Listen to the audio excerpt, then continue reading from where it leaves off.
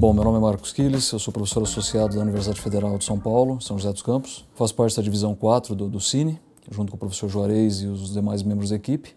E especificamente minha área de pesquisa, junto com o professor Ronaldo da FBC, é a, a seção de aprendizado de máquina.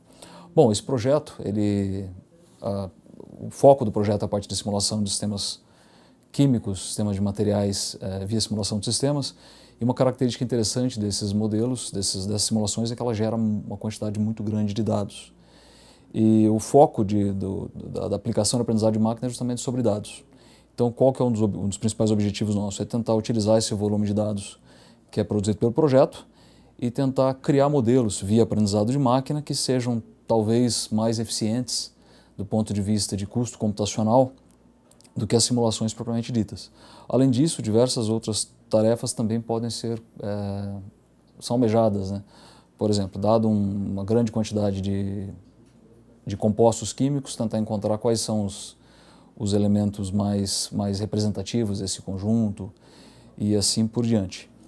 Então, é, basicamente, é, é, isso que nós temos atacado, tentar mapear, encontrar essas estruturas interessantes dentro de um grande volume de dados, tentar mapear atributos em propriedades específicas de, de, de, compostos químicos, por exemplo, tentar encontrar a partir de uma dada estrutura química qual é a energia dessa, desse composto, dessa molécula, sem precisar fazer uma simulação computacional que é muito custosa.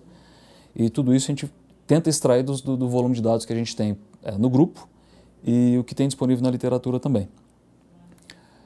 É, é uma área que está bastante aquecida, nós temos diversos grupos hoje a nível mundial é, desenvolvendo trabalhos que antes eram feitos só do ponto de vista mais teórico, é, hoje estão aplicando diversas técnicas de aprendizado de máquina, o que mostra a importância da área como, como um todo. E é o que a gente pretende contribuir com o projeto. Nosso know-how, nós somos é, cientistas da computação de formação desde a graduação até o doutorado, então nós não somos físicos, não somos cientistas materiais, então a gente está tentando preencher esse, é, esse gap que existe entre as áreas e de alguma forma tentar contribuir, né? pegar nosso arsenal que a gente tem na área de computação especificamente na parte de aprendizado de máquina, e tentar criar, gerar contribuições dentro da área de ciência de materiais.